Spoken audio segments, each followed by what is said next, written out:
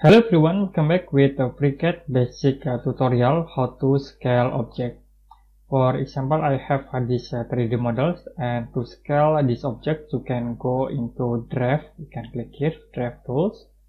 The next, first we need uh, to select the object, but first I will create for a reference line with the line tools, you can click the line and I will click start from this point, move into this point the next uh, you can select uh, the object the 3d models you can click on this object and now you can click scale tools in here.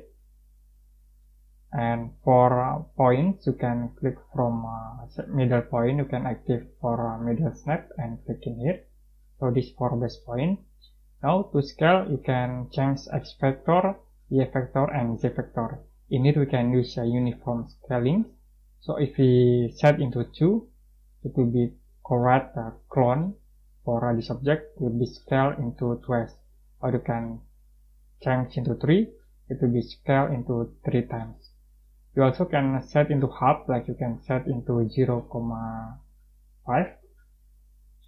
Okay, in here we can set into 5 and it will be quite a small scale okay from uh, this object so it will be more small for example I will set into 2 and it will be more bigger and now if you want to keep uh, this uh, default object you can click here create clones and you can click OK so we already create uh, two objects this for the main objects and this for scale objects Okay, enough today for FreeCAD basic tutorial how to scale objects. If you have any question about this tutorial, you can comment below this video.